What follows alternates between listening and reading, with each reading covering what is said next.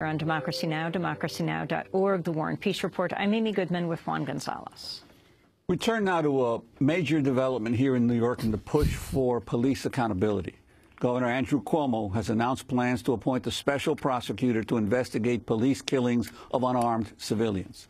On Wednesday, Cuomo appointed New York Attorney General Eric Schneiderman under a one-year executive order.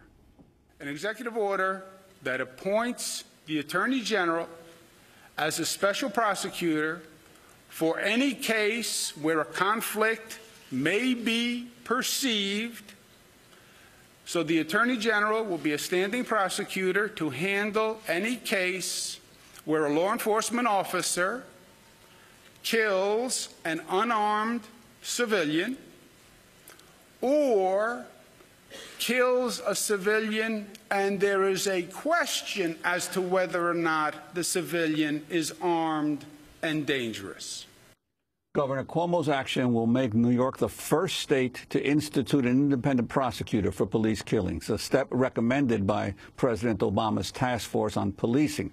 But it falls short of the demands of some activist groups. The Justice Committee had called for the executive order to cover all police killings and not be limited to just one year. Cuomo's move came a day after mothers of New Yorkers killed by police rallied outside his New York City office, demanding he fulfill his promise to appoint the special prosecutor if state lawmakers did not take action. Well, for more, we're joined by one of those mothers. Um, Gwen Carr is with us. She's the mother of Eric Garner, who died almost exactly a year ago. It was July 17, 2014, after police pulled him to the ground in a chokehold and piled on top of him while he said, I can't breathe, 11 times. A grand jury declined to indict Officer Daniel Pantaleo, who put Garner in the chokehold. The prosecutor in the case, Daniel Donovan, was recently elected to Congress from Staten Island. Garner's death was caught on video by Ramsey Orta, who's been arrested repeatedly since Eric Garner's death. Ramsey Orta alleges police harassment. Mrs. Carr was there Wednesday when Governor Cuomo signed his executive order appointing special prosecutor to investigate police killings of unarmed civilians. She's a member of the Justice Committee, which pushed for the measure. We're also joined by Vince Warren, Executive Director of the Center for Constitutional Rights. We welcome you both to Democracy Now! Gwen Carr, you were there um, when Governor Cuomo made this announcement. Are you satisfied now? Well, pretty much I am. Because uh, Governor Cuomo signing the executive order will end inherent fundamental, um, you know, um, areas that exist with the local DAs now that when a person, a civilian is killed by police, there seems to be a problem. So now we'll have an independent uh, person to review these killings, which we hope that there'll be no more of. And the issue of it being just for one year, obviously the governor had some limitations in that the state legislature would not pass uh, any kind of legislation. But you, are you worried that that's such a short time that even investigating one case sometimes could take longer, uh, longer than a year? Well, it's not the, the language in the executive order doesn't read like that anymore.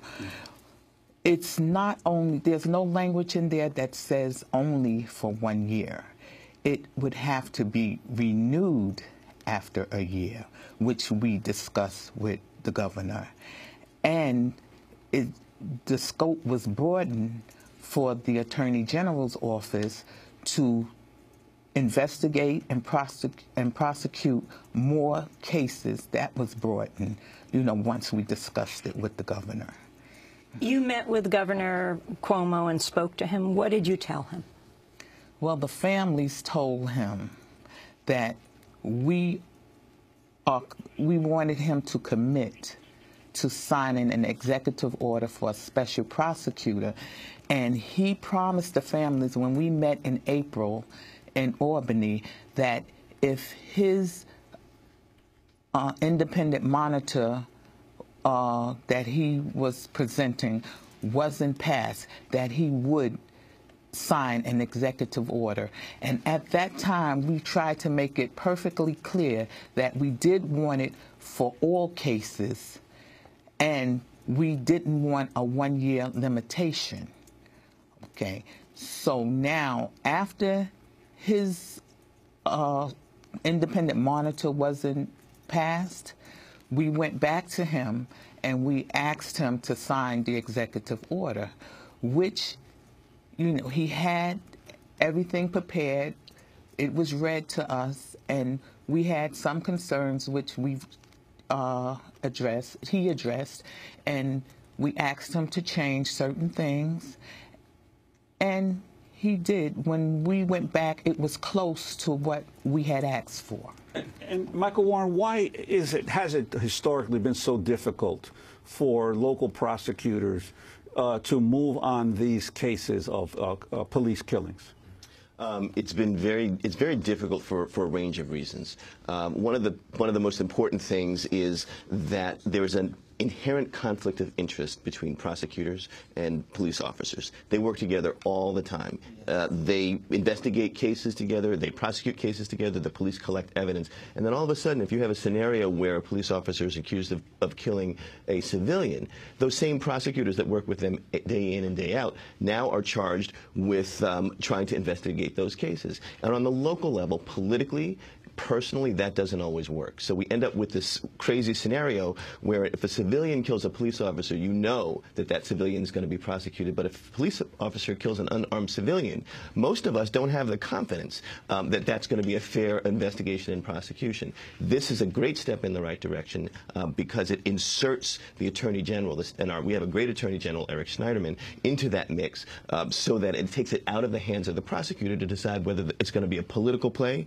or whether they're actually going going to go with the law. And my apologies, it's Vince Warren. That's right. I've been called worse than Michael Warren, though, believe me. Gwen Carr, what was your relationship with the prosecutor in Staten Island? Um, the prosecutor who ended up becoming a Congress member who um, failed to indict uh, Daniel Pantaleo, the officer who put your son in a chokehold. What was my relationship? Did you ever speak to him? We spoke to him once. Um, while before he formed a grand jury before anything happened. And just speaking with him, it didn't sound too positive to us. And even before the grand jury was formed, we were trying to get the federal government to take the case because we felt more confident in the federal government than we felt in the DA taken on the case. And, and your reaction to all this co constant arrest of Ramsey Orta by the police now, time after time, since uh, since the uh, the death of your son? Um, yes.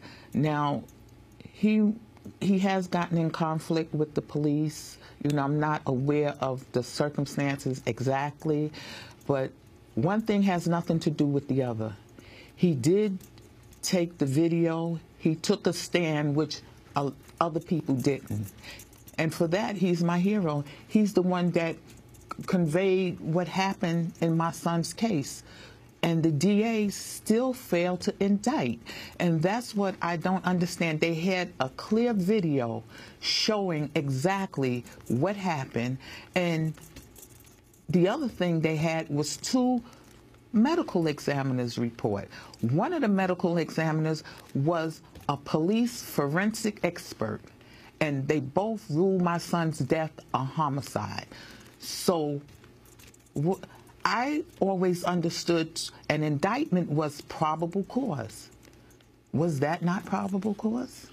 And, and, Vince, I wanted to ask you about this latest report today that uh, that uh, from the monitor now of uh, following of New York City Police following the stop and frisk settlement that a lot of police are not now documenting their stop and frisk, so there may be actually an under an undercount of what is actually going on.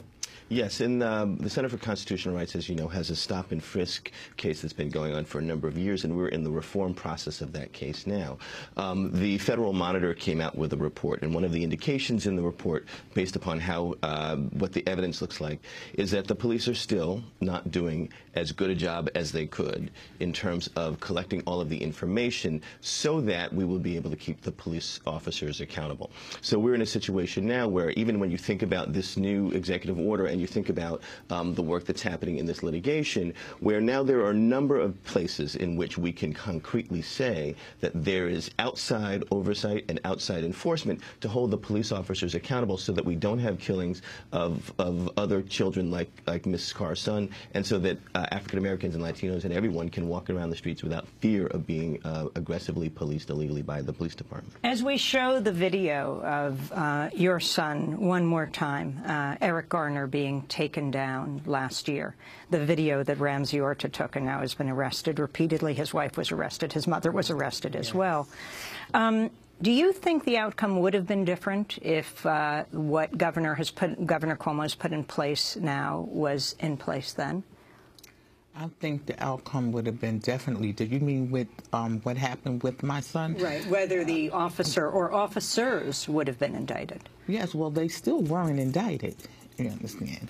Because now in in many of our cases, many of the families' cases, there were plenty of evidence to show that there should have been an indictment and even a conviction with these police officers, but there wasn't. That's why we say there is a definite problem with the local DAs. And no matter what they say, the records prove some DAs will say, oh, I had 100 indictments. How many convictions did they have? None. So there's a problem there. Everybody is not always right on either side, and everybody is not always wrong. Vince Warren, is there any possibility in the case of Eric Garner at any level, federal or state now, of there being some kind of indictment? Well, the important thing to remember about this executive order is that it is forward-looking from the date that it's signed. So, unfortunately, um, situations like Eric Garner's case would not be included here, and it would be a forward-looking question, which is why the one year we need to be focused on enforcing and what happens in getting the Congress, excuse me, the legislature to to uh, uh, come up with legislation that mirrors this. Um, but you know, the uh, Eric Garner case, there are a range of things that are actually are happening. So there's a civil lawsuit lawsuit that is happening. Um, and although it is not a perfect uh, remedy and, and, it will not result necessarily in police officers going to jail, it does bring out all of the evidence that will not have come out publicly uh, because of a lack of trial into the into the public arena, and it is a measure of holding the police department accountable. I still hold out hope um, and and expectations that federal and state law enforcement, as information comes out, uh, will act on that. Well, I want to thank you both for being with us. Uh, Gwen Carr, our condolences again on this first anniversary of your son's death. Eric Garner was killed July 17, 2014, when put in a police chokehold and taken to the ground and piled on by a number of police officers saying, I can't breathe, 11 times. Um, and thanks, Vince Warren, for joining us. Vince Warren's Executive Director of the Center for Constitutional Rights. This is Democracy Now!, democracynow.org, The War and Peace Report. When we come back, we'll talk about the latest developments in Greece and in Puerto Rico, and what is the relationship of Governor Andrew Cuomo in New York to what's happening in Puerto Rico today. Stay with us.